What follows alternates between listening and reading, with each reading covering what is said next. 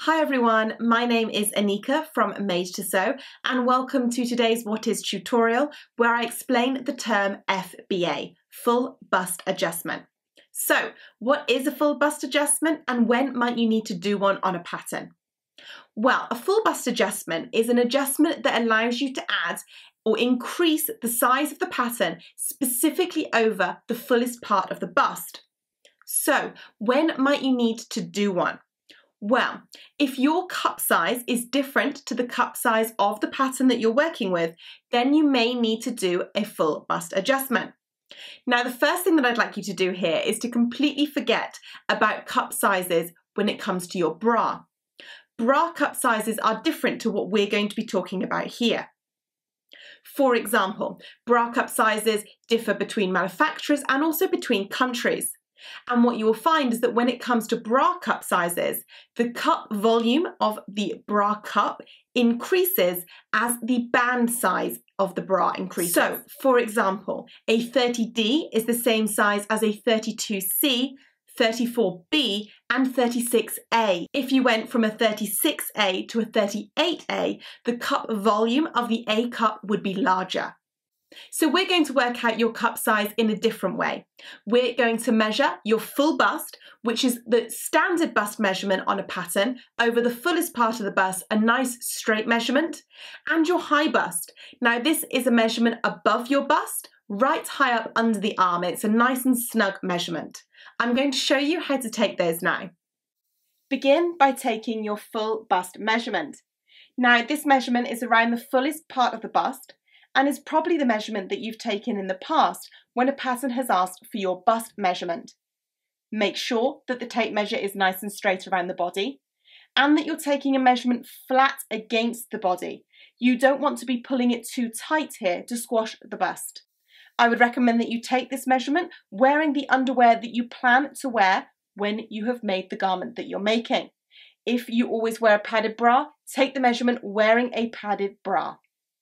The next measurement that you're going to take is the high bust measurement. This measurement is right up under the armpit and nice and high in the back as well. You want to make sure that this measurement is really nice and snug against the body. When you record the measurement, please make sure that you position your arms down against your sides, nice and relaxed. Now I'm going to leave you to go and take your high bust and your full bust measurement so that we can compare the two.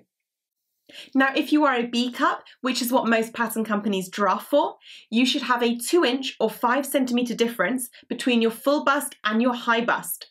So your full bust should be 2 inches 5 centimetres larger than your high bust. And the cup size works by increasing by every inch or 2.5 centimetres. So if you were an A cup, you would have a 1 inch or 2.5 centimetre difference between the high bust and the full bust. If you're a B cup, it would be 2 inches or 5 centimetres. A C cup would be 3 inches or 7.5 centimetres. And a D cup would be 4 inches or 10 centimetres. And so on.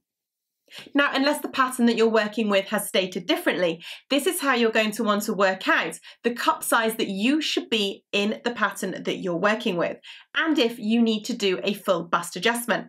So, as I said, the majority of patterns draft for a B cup. However, some independent pattern companies do draft for a C cup, and you'll also find some plus size pattern companies draft for larger cups as well. Now you're going to need to find out what cup size you are by taking these measurements, and then you're going to need to compare this back to the pattern that you're working with. Now, you will find that some pattern companies actually draft for different cup sizes within the same pattern, which is great news because you'll be able to choose the cup size that you are. Now, if you've already gone ahead and you've made a sample garment or the real garment, what are the issues that you might have with that garment that means that you need a full bust adjustment? Let's take a look at some. The first one is that the top of the garment, so the shoulder, the neckline, the chest, is too large but the bust fits you perfectly.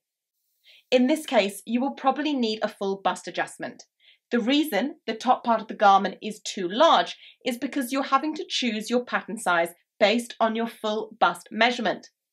Your bust measurement is probably large because of the volume in your cup.